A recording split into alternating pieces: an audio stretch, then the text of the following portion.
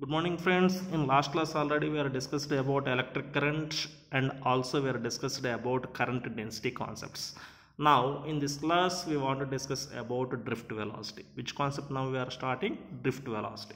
How we can represent this uh, drift velocity? Drift velocity is we are represented with Vd. So this is Vd.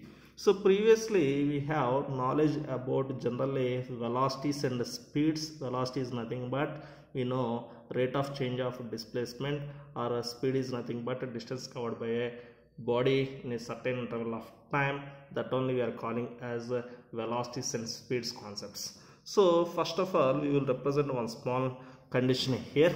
Think this one as one conductor. Okay, this conductor having length L and also area is having A. For example, initially in that conductor electrons are in which position? Rest position. Which position? Rest position. If suppose we are giving a potential between the free ends of the conductor with the help of one battery means here I am connected one battery like this here this is a positive terminal is connected this side and this one is negative terminal this negative terminal is connected to another free end of the conductor so impact of this uh, given potential so the electrons will be moves or electrons will be shifted or those electrons will be drifted. Okay those uh, moving electrons are getting some velocity that only here we are treated as drift velocity. So friends now i am discussing about the statement general statement for drift velocity so drift velocity is defined as average velocity attained with which a free electrons get drifted under the influence of an external electric field applied to the conductor. Means with the impact of external electric field the free electrons in a conductor will be drifted with a certain velocity that velocity is only we are getting as a drifted velocity. So here we are ready to getting a few relations also. So first of all how to find that drift velocity relation we will check it. See friends here one conductor we are already chosen. So that conductor length is how much we are chosen? Length L is chosen. That conductor having area of cross section A also we are taken and also that uh, free ends of the conductor is connected to a one battery having potential. V like this. So when we are applied potential between the free ends of this conductor in that one electric field intensity will be developed. Which one is developed? Electric field intensity will be developed. That uh, electric field intensity how we are represented? So electric field intensity is represented with e is equal to v by l. So friends we have one notation. E value is equal to minus dv by dr relation we have. From that relation only here we will get as e is equal to v by l under the influence of electric field here force is acting on free electrons. So here force acting on electron is how we will represent F value is equal to capital E into small e. Since we know by electric field intensity concepts we have one fundamental formula E is equal to F divided by charge. Here charge is nothing but electron only. Electron charge is represented with E. So therefore here force acting on electron is becomes F value is equal to capital E into small e.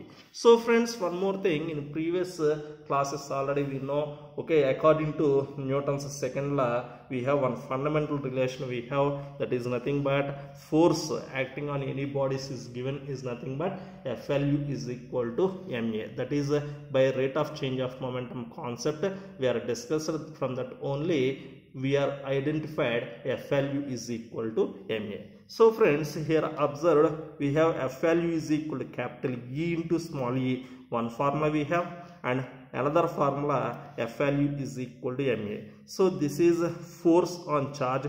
This is also force on a charged massive particle that is nothing but electron. Here m is nothing but mass of the electron and a is nothing but acceleration developed in that electron. So we are on equating these two notations you will get here ma value is equal to e into e means here capital E into small e. So acceleration a is equal to we are represented as capital E into small e divided by m. So this is the acceleration attained by the free electrons present in the conductor. So next further we know equations of motion. Okay, by equation of motion we are ready to discussing next continuation.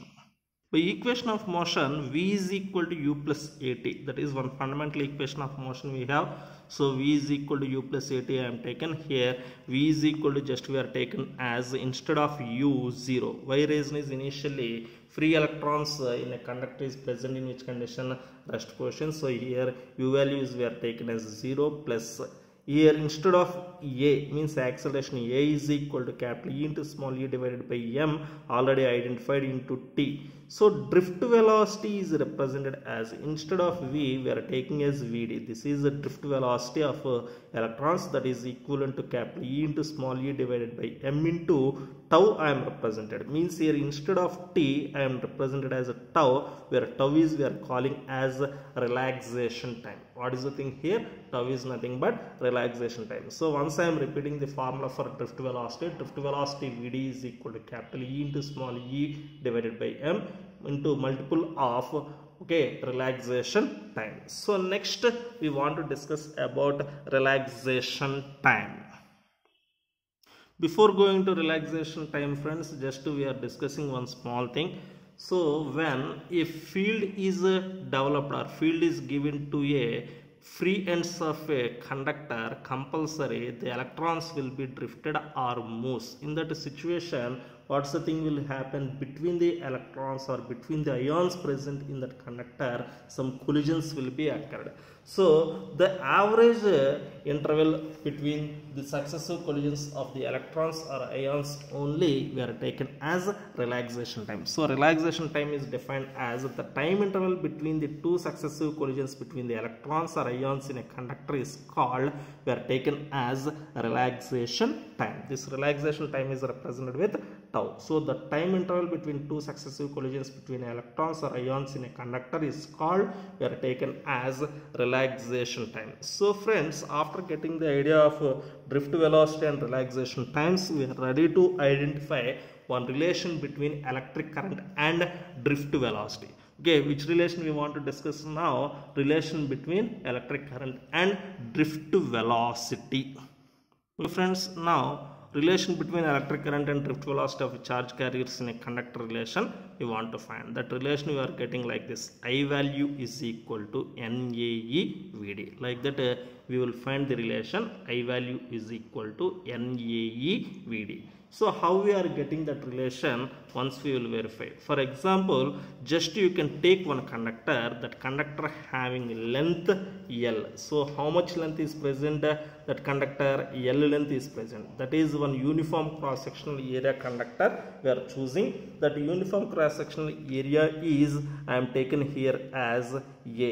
Means length of the conductor is l area of the conductor is a so here for these free terminals we are introducing one battery having potential V like this. So for example this is a positive terminal, positive terminal is given to one end of the conductor and negative terminal of the battery is connected to the another free end of the conductor. So in this situation, so for example these are electrons means these electrons are drifted or shifted under the influence of electric field developed in it. So this one here electrons are drifted with a certain velocity Vd. Here Vd is nothing but what's the thing friends?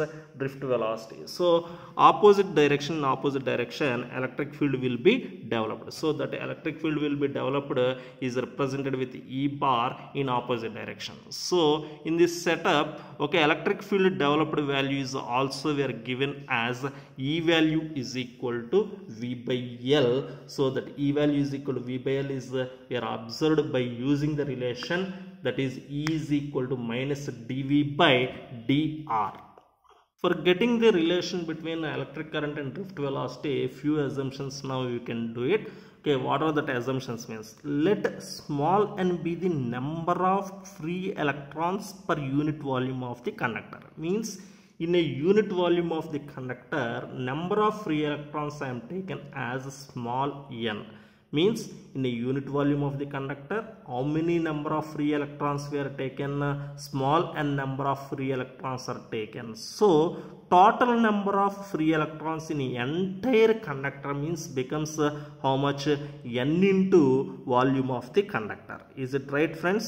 So the total number of free electrons in a conductor is equal to small n times of volume of the conductor actually in unit volume how many number of electrons present? Free electrons those are only small n. So total number of the free electrons in entire conductor we are taken as small n into volume of the conductor. So here volume means we know very well area into length. So instead of volume we are taken as area into length. So therefore total number of free electrons now becomes as n into a into l so one more thing friends, magnitude of the electron we are always represented with a small e. So if E is the charge of the electron. So next total number of free electrons already known that is nothing but n into a into l. So total charge present in the conductor we want to find. So now what's the thing we want to find? The total charge present in the conductor. Total charge present in the conductor I am represented with Q capital Q. So capital Q is equal to I am represented here as total free electrons into electron charges. So total free electrons is nothing but how much n into a into l that is the total number of free electrons in a given conductor and E is the magnitude of the charges. So total charge in the entire conductor is q is equal to n into a into l into e this is the total charge so already we are identified total charge. Total charge we are identified means so time taken by the charge to cross the conductor length how much we are taking. Means time required to drifted the electron from one end of the conductor to another end means means for traveling total distance L between the free ends of the conductor how much time is uh, means T is equal to L divided by Vd. So this is we know very well velocity is nothing but our drift velocity Vd is equal to here L by T from that relation we can identify T is equal to L divided by Vd. So this is the time required to an electron shifting from one end of the conductor to the another end to covers a distance L. So here T value also we are identified and also total charge is also we are identified. Then we are going for definition for electric current. Definition for electric current we know by the definition of electric current I value is equal to Q by T. Here Q is a total charge and here T is a time period. Okay, so I value is equal to N into A into L into E. This is the total charge and here time value is L by Vd. So we can able to write I value is equal to N into A into L into E into Vd by L. Here L and L will be cancelled. So I value is equal to NAE Vd. This is the final relation friends. I value is equal to NAE Vd. So we are identified the relation between electric current and drift velocity. So now I want to find out okay about current density. Current density already we know previously J value is equal to I by A. So here I am ready to write like this. I value is equal to what is the formula we have? I value is equal to NAE VD. So J value is equal to I by A. I by A is nothing but we will get as NEVD. This is the current density. Okay friends, till now we are taking about uh, okay drift velocities and one more thing we are identified the relation between electric current drift velocity that is I value is equal to NAE VD. So after completion of this one we are going for mobility concept. Mobility is nothing but simply we are taking the ratio between drift velocity and the electric field. So mobility is represented with mu. Mu is equal to simply we can able to write like this drift velocity divided by electric field. So from this formula how to represents the statement for mobility. Mobility of the charge carrier is defined as the average drift velocity resulting from the application of unit electric field strength. So once I am repeating mobility of the charge carrier is defined as the average drift velocity resulting from the application of uh, unit electric field strength. That is the thing. So mu value is equal to we can uh, represent here vd. This is drift velocity divided by here electric field intensities that is capital e. So mu is equal to vd by e so after getting the idea about the formula for mobility now we are going through SI units and also we want to find out the dimensional formulas. So SI units uh, we want to represent means in two ways we can represent. In numerator already drift velocity is present so drift velocity is nothing but velocity only that is meter per second. Meter per second is the unit for drift velocity volt divided by for electric field intensity we have volt per meter. So on simplification we can get as meter square second inverse volt inverse. This is one unit for mobility and another way how to represent means. So here in numerator already we have drift velocity. So drift velocity unit is meter per second. Here electric field intensity is present in denominator. For that newton per coulomb also we can represent. So we can able to write as m s power minus 1 n power minus 1 coulomb. So meter second inverse newton inverse coulomb that only the one more SI unit for mobility. So after getting these mobility units in two different forms, just we are going for dimensional formula. On simplification, uh, we will get dimensional formula as m power minus 1 t square capital A. m power minus 1 t square capital A. This is the mobility. So mobility is depends on what factors means it is depends on pressure and temperature. On what factors depends? Pressure and temperature. This mobility is depends. So this is one of the concept friends. After completion of this one we will go for ohm's law so friends ohm's law it is very very easiest concept and this is very very important concept for all of you. So one thing in ohm's law one condition we will maintain. So what is that condition? Means in ohm's law we are ready to maintain temperature is constant. Which one is we are maintaining constant? Temperature is constant uh, we will maintain in case of ohm's law. So how we are observing this ohm's law means okay for a given conductor at a given temperature strength of electric current through it means current strength is through it becomes directly proportional to potential difference applied across it. See here for a given conductor at a given temperature strength of electric current through it is directly proportional to the potential difference applied across it. That is the thing. For example here we are representing this is one closed circuit I am taking. In this closed circuit we are introducing one battery having potential V. So then here compulsory current will be flows. So in this closed circuit we are maintaining temperature constant. So in this situation here electric potential applied is directly proportional to the strength of the current in that closed circuit. So here V is proportional to I. V is equal to R into I. I am represented where R is a proportionality constant. That proportionality constant is we are calling as resistance or we are calling as electrical resistance. That electrical resistance we are represented as a capital R. Further we are ready to discuss about statements for electrical resistance also. So then we are ready to discussing about limitations in Ohm's law. Limitations in Ohm's law okay friends here few limitations we are observing in first one we are giving like this it is not applicable for conductors at a very low and at very high temperatures means at very low temperatures and at very high temperatures along the conductors Ohm's law is not applicable. So and also Ohm's law is not applicable for semiconductors and superconductors, next diodes and thermistors and discharge tubes. Through semiconductors, superconductors, diodes, thermistors and discharge tubes, Ohm's law is not applicable.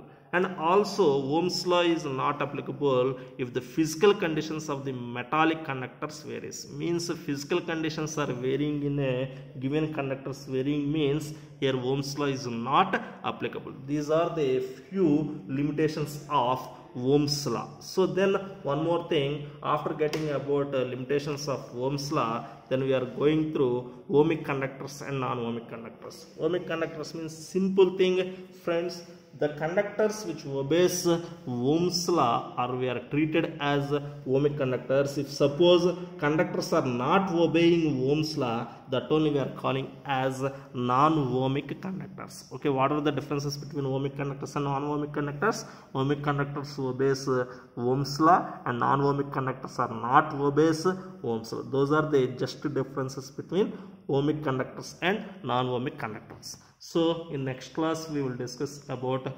applications and we will discuss about resistance and conductance concepts in next class. Okay friends, thank you.